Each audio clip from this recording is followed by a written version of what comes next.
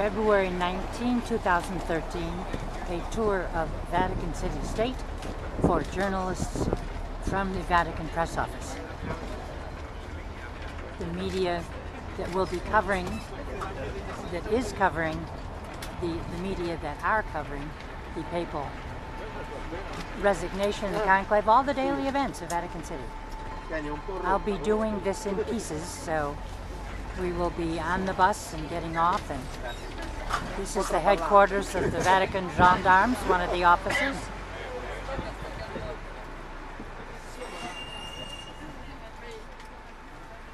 We are driving towards the Santa Marta residence, which you see that yellow building.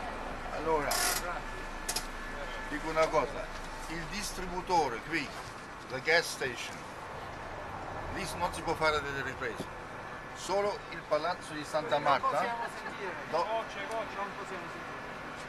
il distributore di benzina non può essere ripreso. It's off limits, no photo of this gas station. Only the, the, the building Santa Marta, where the cardinals were staying during the conclave. And I think it should take 10 minutes.